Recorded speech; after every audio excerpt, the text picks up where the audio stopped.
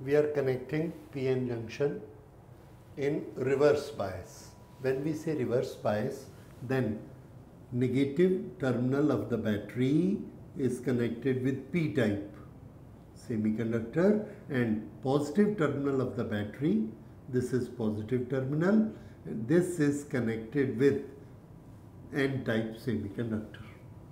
Then this is known as reverse bias. After connecting, when we switch it on, what happens? See, what has happened is this is minus and this is plus. Here, this minus minus will attract positive plus will attract electron to its sides.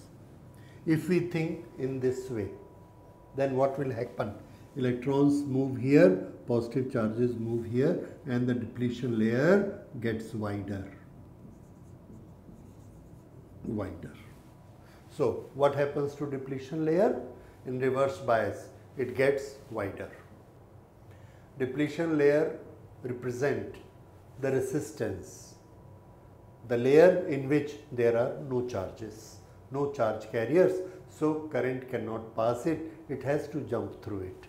And if this has become wider then it is become more difficult for electrons to jump. So the resistance has increased. The resistance has increased. The chances of flowing current have become less. Now so no current will flow here Another method of looking to it. There was a potential barrier created here. This is at a higher potential. This is at a lower potential. This is at a higher potential. This is at a lower potential and there is a difference. This difference is known as potential barrier. Because of this difference, electron cannot jump here. So this is potential barrier and this is electric field that is potential gradient. If this is the width then these are the two points and this shows the height of the potential barrier. When this width increase, when this width increase due to this polarity, then what will happen? Same is the gradient, but because this distance has increased, it is here and it is here. Now, this height has increased. That means the potential difference V is equal to E multiplied by D. Here V is equal to E multiplied by D. Here this distance is small, here this distance is large. If the distance is large, then V will increase and that is potential difference has increased. So, this potential difference is potential barrier. For this electron, it was little difficult to go here, but for this, it is impossible to go here. And impossible to go here, the current cannot flow. Now, if the current cannot flow, it has become a insulator. Again, here is the potential difference, potential barrier created by electric field in the junction. What is its direction? Its direction in this example is here right to left. This is the direction of V barrier. We have applied a potential difference plus on this side and minus on this side. So this is the direction of V applied. Now you see both the directions are in the same way. So what will happen? They will get added up. Both are reverse, so we can say both are same sign, opposite sign, so they get reverse. So the potential barrier has increased. In the forward biasing, what was there? This was minus, this was plus, this used to cancel it and it would have become conductor here this is the barrier and we have applied in the direction of barrier. So the barrier has become higher. Here it was 1V, now it is 2V. If electron has to go here, it has to have double the energy. And it does not have so, so it will not go here. So this way potential barrier height has increased. So what are the two effects in reverse biasing? Number one, depletion layer widen. So our resistance increase, potential barrier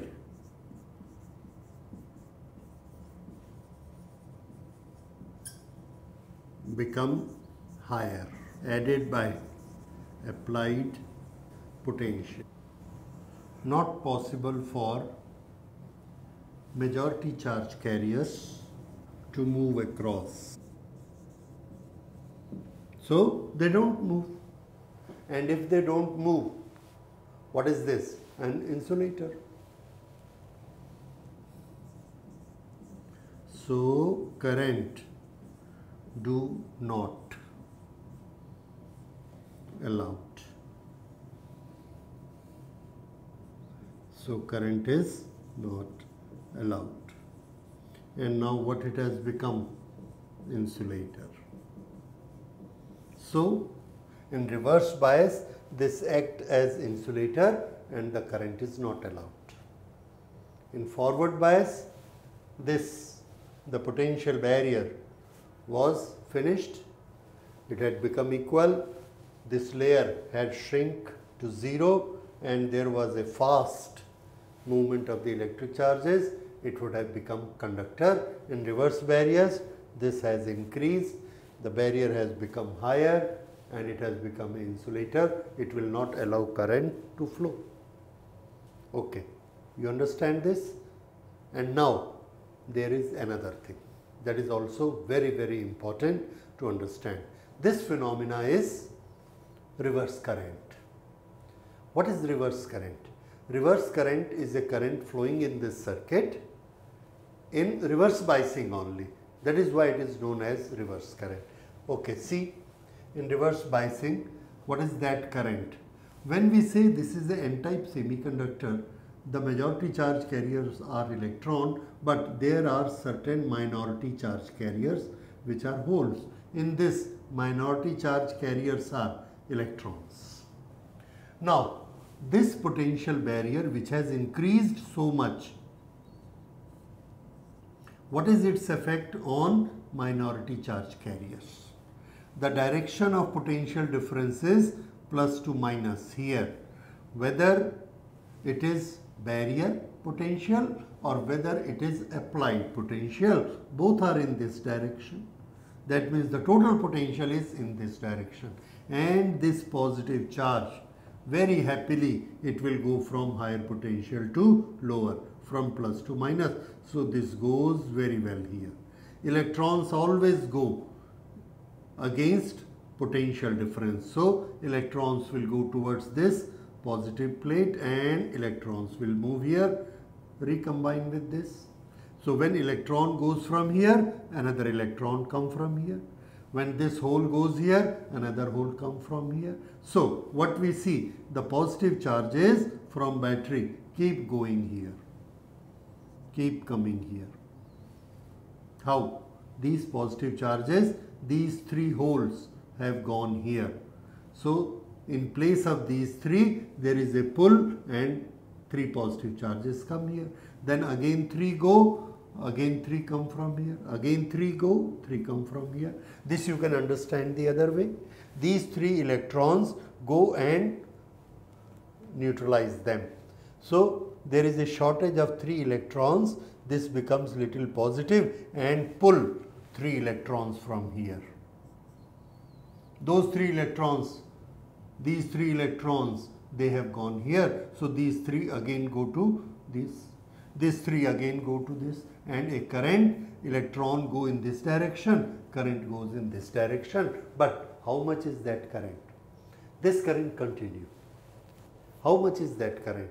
This current may be equivalent to one charge or two charge or three charge depending how many flow but cannot be 4 charges current, 5 charges current. Why? because this is the maximum number. And when it comes to majority charge current, how many majority charge carriers are there? Answer thousands. So majority charge carrier when we flow in forward biasing that is in thousands of microamperes but when we flow reverse this the current due to this minority charge carriers this is a very small current because their total number is less the charge carrier is less and the current is made by NEAVD this end. This is number of charge carriers and here number of charge carriers are very small. Now this current, which current? In reverse biasing made by minority charge carriers. This current is known as reverse current. In reverse bias, the majority charge carrier current is not allowed, that is the main current. But at the same time, a very small current keeps on flowing from plus to minus. A very small current keeps on flowing due to minority charge carriers. This is in reverse biasing due to minority charge carriers and we name it reverse current. So a reverse current keeps on flowing in the reverse biasing. So this is reverse biasing results. So for normal use what we say this reverse biasing current is very very small say 1 upon 1000 of the forward bias current. So for us it is no current. In forward biasing there is a current of 1000 milliamperes. In reverse biasing all these are blocked and there is no current due to majority of charges. Therefore, we say current is not flowing. So, for diode, we have a general result. In forward bias, it allows current to flow. In reverse bias, it does not allow current to flow. At that time, you can make objection, sir, there is a reverse current. Okay, there is a reverse current. For some time, please leave it apart. Where we need it, we will use it because it is very very small in magnitude. But we will make use of it sure and those are very wonderful uses of reverse current. But generally if I ask you with reference to majority charge carriers, diode allow current only in forward bias, in reverse bias it does not allow current. So this we have to remember about the diode forward and reverse bias. Now, when we increase the voltage, what happens to current? That we can always show by a graph and that graph we call characteristic. So, we have studied forward and reverse biasing and in the next lecture we will say, we will see characteristic, the graphs. When we increase the voltage, how what happens to current whether it is in forward bias or when it is in reverse bias. Thank you.